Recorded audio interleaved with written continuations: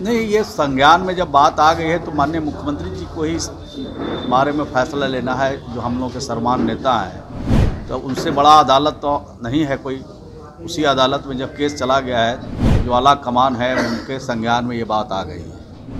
नमस्कार फोस्ट बिहार देख रहे हैं आप, और मैं हूँ आपके साथ जोया अब्बास। पिछले दिनों जेडीयू के पूर्व एमएलसी गुलाम रसूल बलियावी का एक विवादित बयान निकलकर सामने आया था, जिसमें साफ़ तौर से उन्होंने सेना के बारे में कुछ बातें कही थी, जिसके बाद लगातार बिहार में सियासत तेज हो गई और कई बड़े नेताओं की प्रतिक्रिया भी निकलकर सामने आई। इसके बाद पिछले दिनों हमने आपको ये भी सुना है कि गुलाम रसूल बलियावी ने इस पूरे मामले पर सफ़ाई दी है और सफ़ाई देते हुए उन्होंने ये कहा है कि उनका कोई भी मकसद नहीं था सेना के बारे में कहने वाला, बल्कि वो ये कहना चाहते थे कि सेना के पीछे से जो लोग बैठकर सियासत कर रहे हैं, ये उनके बारे में सारी चीज़ें कहना चाहते थे। और लगातार ऐसी प्रतिक्रियाएँ निकलकर सामने आ रही हैं। वहीं अब बिहार सरकार में जेडीयू कोटे से मंत्री श्रवण कुमार का भी बयान निकलकर सामने आया है। आपको हम बता दें कि श्रवण कुमार ने साफ़ तौर से कहा है कि किसी भी जिम्मेदार पद पे बैठे व्यक्ति को ये सारी बातें बोलना शोभा नहीं देती है और पूरा जेडीयू जो है इस मामले को देख रहा है। पहले आप सुने कि क्या कुछ कहा है श्रवण कुमार ने। इस संदर्भ में तो माननीय मुख्यमंत्री जी का आज अखबार में उनके द्वारा कुछ बात कही गई है जो छपा है। तो मैं नहीं समझता हूँ कि इस पर कोई हमारा हमें बोलना कोई ज़्यादा शेषकर होगा।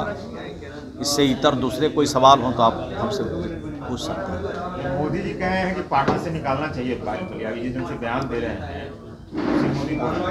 कार्रवाई आप लोग नहीं कर रहे जब माननीय मुख्यमंत्री जी के संज्ञान में कोई बात आ गई जो हम लोग के सम्मान नेता हैं तो जब उनके संज्ञान में बात आ गई है तो माननीय मुख्यमंत्री जी इस पर ज़रूर कुछ निर्णय लेंगे और निर्णय जब लेंगे तो आप लोग ज़रूर आप लोग को जानकारी समय पर मिल जाएगी। आपको लगता है कि कार्रवाई होनी चाहिए जिस तरीके नहीं ये संज्ञान में जब बात आ गई है तो माननीय मुख्यमंत्री जी को ही इस बारे में फैसला लेना है जो हम लोग के सरमान नेता हैं। तो उनसे बड़ा अदालत तो नहीं है कोई उसी अदालत में जब केस चला गया है तो ज़रूर लगातार बयान हजारीबाग में उन्होंने कहा कि करबला बना देंगे।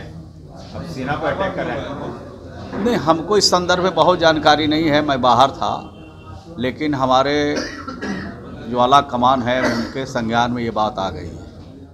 तो साफ़ तौर से आपने सुना श्रवण कुमार को उन्होंने कहा है कि पूरा जेडीयू इस मामले को देख रहा है और आगे क्या कुछ होगा ये बातें भी आपके साथ साझा करेंगे हम। फ़िलहाल इस खबर में इतना ही। तमाम बड़ी खबरों के लिए बने रहे फ़र्स्ट बिहार झारखंड के साथ।